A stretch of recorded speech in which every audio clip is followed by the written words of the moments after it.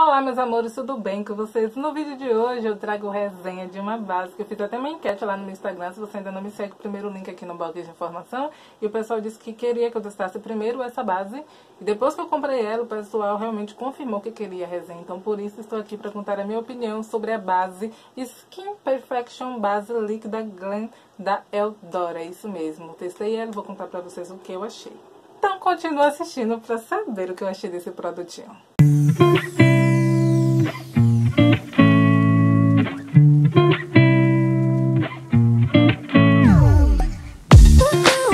Começando pela embalagem, né, vem nessa caixinha aqui, mas a embalagem em si é essa, que eu acho lindíssima, é um acrílico bem resistente com essa tampa, né.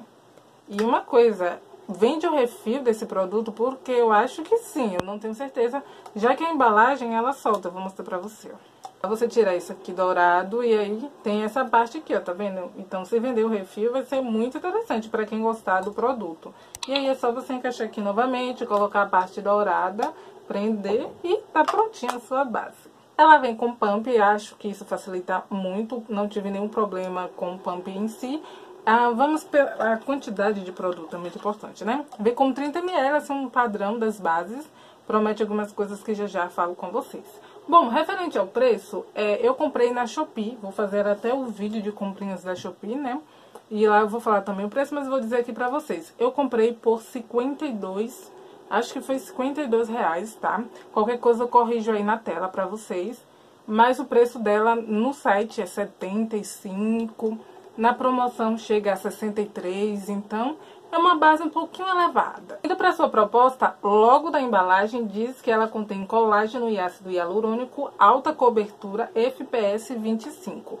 Mas aqui na outra parte, né, na, da embalagem, vem dizendo que ela é aliada a um duplo tratamento de colágeno, que recupera a elasticidade da pele, o ácido hialurônico, que preenche e reduz as linhas de, de linhas finas. Eu ia falar linhas de expressões, mas linhas finas. Conta com o poder da alta cobertura, efeito mate, o que mais, gente? O que mais? Antipoluição, ah, mantendo a integridade da barreira cutânea por 7 dias, e é isso. Sobre a quantidade de tons, tem 20 tonalidades. A minha cor é a 70. Vou deixar aqui na tela pra vocês. É a cor 70 depois dessa tonalidade, eu acho que tem umas 5 ainda. Então, as manas de pele retinta, eu acredito que vai encontrar seu tom também. E as mais clarinhas. Desculpa qualquer barulho de fundo, porque o ventilador está ligado, senão eu viro um picolé aqui nesse quarto, tá?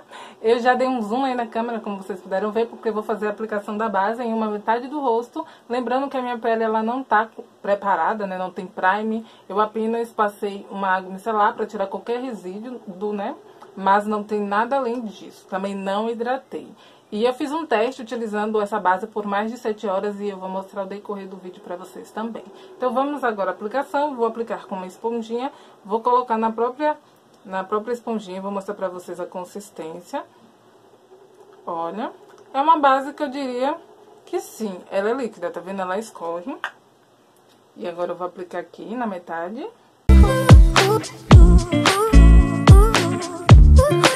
Pronto, já apliquei. Vocês podem realmente ver, né, a diferença. Ela é uma base com fundo amarelado. Eu tenho esse subtom, mas eu gosto de um amarelado um pouco mais leve. Ela é um pouco mais intensa, mas depois que ela vai secando, né, ela já vai ficando mais aceitável ao meu tom. É uma base ótima para utilizar esse tom 70, tá? Para você que segue assim, a minha tonalidade 70 vai dar certo sim. Só que de início você pode achar muito amarelado, então por isso estou falando. E assim, o que eu achei é que ela tem uma cobertura de média para alta. Não achei logo alta cobertura. E já fiz o teste sim, ela aceita uma segunda camada. Eu não vou fazer isso aqui agora, porque eu quero mostrar apenas uma camada para vocês. É o que eu costumo fazer, mas no teste eu apliquei duas camadas. E aí ela não ficou alta cobertura, ela ficou de média para alta, tá? Na minha pele que tem algumas manchinhas, mas para você que tem a pele sem nenhuma manchinha, sem nenhuma acne, realmente vai ficar de alta cobertura logo de primeira.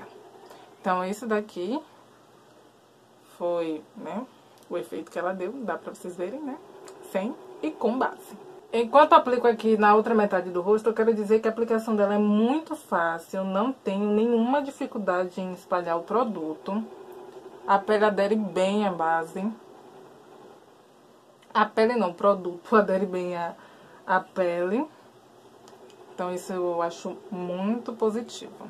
Base já aplicada em todo o rosto. Vou fazer agora o teste de transferência com vocês. Peguei aqui um papel. Vou fazer isso desse lado primeiro, onde a gente aplicou a base. Ó, ficou colada. E promete não transferir. Bem de leve aqui, não sei se vocês vão conseguindo ver, tá vendo? Bem aqui no centro. Vou de novo. Pra ver se vai transferir alguma coisa. Olha. Transfere sim. Vou deixar passando pra vocês agora o teste do flash, a foto que eu tirei. Eu desliguei a ring light para poder tirar essa foto. E, gente, não estourou. O que você está vendo de iluminação aí são os pontos de iluminação naturais do próprio rosto. Então, na minha opinião, não estourou. E agora, o último teste que a gente vai fazer é o de água. Não vi na embalagem dizendo ser resistente. Eu vou dar uma conferida depois, mas enfim, vamos fazer esse teste e ver como vai ser. Vou aplicar nesse lado também que já tinha aplicado a base antes, tá? Aqui é água, nesse borrifador. Vamos supor que pegamos uma chuva. E o que vai acontecer com a base. Olha, tá? As gotículas aqui. Eu não estou vendo ficar esbranquiçado ainda. Vou pegar aqui um papel pra ver. É. Hum, acho que agora tá ficando meio esbranquiçado, né? Aqui, ó. Tá vendo? Descendo a gotícula e tá ficando esbranquiçado. Aí vamos supor o quê? Que a gente pegou um papel e vamos enxugar, né? Porque, né, nosso rosto está molhado. É o que normalmente eu faria se eu estivesse na rua e pegasse uma chuva. Ó. Transfere. Transfere um pouquinho, pouquinho. Aqui na testa também, olha.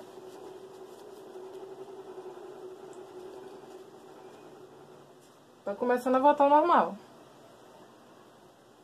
Não sei se é pra você estar mostrando, mas aqui pra mim já tá normal. Então, já sabe, né? Pegou aquela chuva, dá batidinhas, que a base vai ficar no lugar. Uma coisa que disse que ela é resistente, ela é resistente ao suor. E o meu ele começou a suar primeiro e realmente ficou gotículas aqui. E não saiu logo de primeira, tá? Então, acho que é resistente realmente ao suor, porque né, se aqui estava suando e não saiu logo a base, então porque ela é resistente. Ela é uma base que fica bem sequinha na pele, não é um mate desconfortável que você sente que está com produto na pele. Ela tem uma textura leve, espalha bem, então isso é muito bom. A cobertura é de, pra, na minha pele, né, é de média para alta. Ah, uma coisa sobre as linhas aqui, né? Não acumulou, não evidenciou mais do que eu já tenho. Então também pra mim foi super ok isso. Diz também que ela tem uma longa duração impecável. Vou deixar pra mostrar pra vocês no outro vídeo. Que eu vou mostrar nesse vídeo mesmo, tá, gente? Calma, num takezinho. Alta fixação sem transferir. Transferir, assim, transfere. Eu não concordo com essa, com essa informação que a Eudora colocou de não transferir, porque sim, ela transfere. FPS 25, isso é importante, o VA mais Controle de oleosidade, eu não senti que minha pele ficou mais oleosa utilizando a base. Ela ficou com ponto de oleosidade que ela fica normalmente com qualquer outra base. E o um, que mais? Resistente à água. Ah, diz sim, ó, ser resistente à água. Então, como vocês viram, formou gotículas, gotículas não, ficou esbranquiçado aqui, mas depois voltou ao normal. Então, se aconteceu isso, ela é resistente, ela não ficou manchada na pele. E o suor, foi o que eu, te, eu falei a vocês do bolso, né? Que ficou algumas bolinhas aqui, ó. Aqui mesmo já tá suado, ó. Mas não sai. Só forma assim, gotículas, por cima da própria base. Agora eu vou deixar vocês com um vídeo de 7 horas de uso desse produto. Amores, fiquei com essa base durante umas 7 horas, desde o meio-dia, né?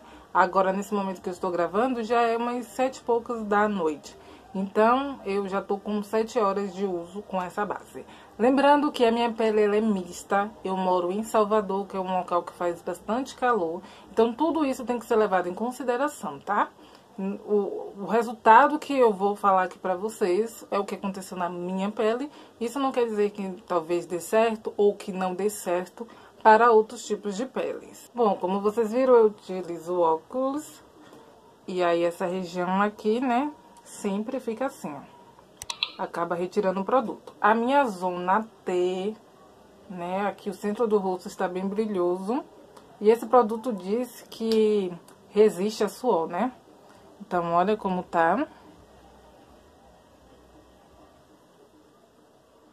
Aqui saiu. Dá pra perceber que tem uma diferença aqui no centro. Saiu. Vou pegar até aqui o espelho pra olhar. Saiu, meu nariz tá super oleoso, mas fica assim com a maioria das bases, a zona né?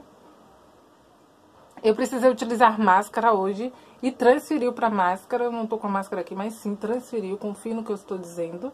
Então, esse negócio de não transferir não aconteceu comigo. Transferiu sim. É, eu tenho muito isso de passar a mão no nariz. Eu tenho rinite, então eu acabei de passar.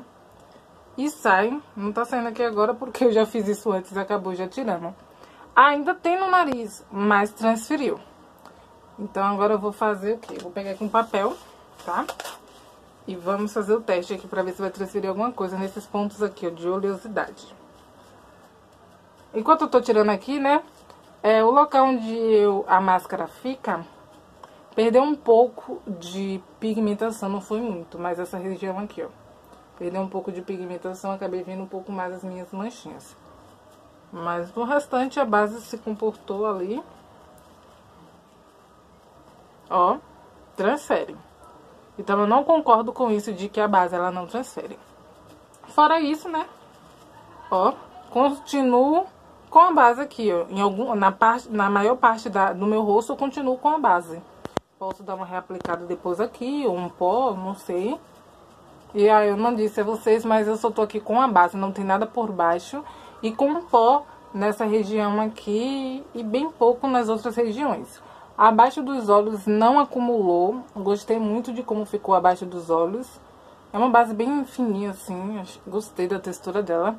Mas após 7 horas na minha pele, já não tem mais aqui. Nariz um pouco, né? Tem ainda, mas sai bastante porque eu fui passando a mão. E no restante tá assim, ó. Tá ok. Tá usável. Com certeza tá usável. E só mais uma coisa, referente ao suor. Eu comecei a suar, né, nessa região aqui e a base ela não saiu logo de início. Mas o que que acontece? Eu utilizei máscara, então acredito que provavelmente foi por isso que essa região saiu mais fácil. Porém, eu comecei a suar nessa região, formou umas bolinhas aqui, mas não saiu logo. Então, ela tá resistindo bem, né? Você vê que eu suei bastante aqui e ainda tem uma pigmentação, ó. Ainda tem base invadindo aqui o vídeo só para dar meu veredito final que eu percebi aqui, né, depois que eu revi o vídeo, que eu não falei, mas sim, é uma base que eu gostei bastante, em todos esses aspectos que eu falei, eu gostei sim da base, eu compraria novamente ela, claro, quando tivesse na promoção, né, porque ela tem um precinho salgado, porque eu gostei do acabamento, da forma como ela ficou na minha pele, e lembrando que a preparação que eu fiz no vídeo de teste de 7 horas não foi uma preparação completa da maquiagem, foi com aqueles produtos que eu disse pra vocês, na área de baixo, eu passei por compacto e tudo mais. Então, imagine se tivesse uma preparação de pele, um skincare né, bem completo, realmente a base ela ia acabar durando muito mais, provavelmente em algumas partes que ela saiu, ela não saísse. Então, sim, é uma base que eu recomendo, eu gostei muito do acabamento dela, da forma que ficou na minha pele, e não achei, assim, que os pontos negativos dela vai fazer com que eu não compre ela novamente. Então, pra mim, sim, ela está aprovada. Bom, meus amores, essa foi a resenha da base Skin Perfect Glam da Eudora. Cadê ela? Que ela sumiu? Ah, tá aqui. Então é isso, espero que vocês tenham gostado. Lembrando, a minha cor é a 70, vou deixar uma relação de bases que eu já utilizo aqui no, nos comentários fixados para que ajude vocês, tá bom? E espero muito que tenham gostado, clica no gostei para me ajudar na divulgação, para chegar mais pessoas nesse vídeo, inscreva-se, me siga lá no Instagram porque tem muito conteúdo legal para vocês. E isso, meus amores, super cheiro para vocês e até o próximo vídeo. Tchau!